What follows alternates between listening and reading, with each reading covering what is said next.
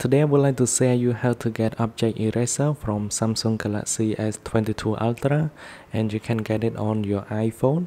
You can see uh, the object has been removed from my photo and now if I click uh, to reverse uh, you can see uh, there is a human there is a woman uh, on the left side.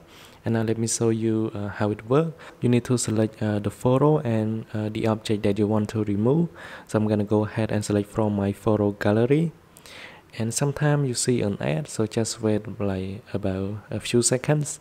And now I'm gonna pick up this photo and then uh, click on done. And from here you should be able to draw around an object that you want to remove.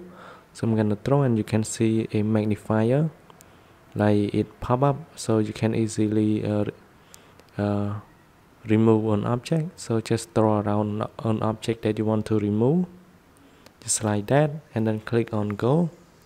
And you can see uh, an object um, is removed immediately. But you can also like uh, do more if uh, it does not completely completely remove. Click on go. And just like that and then you can click on save. And now you can see uh, this is um, before and after just like that. And thanks for watching. I hope uh, you like this video. And then i will see you guys in the next one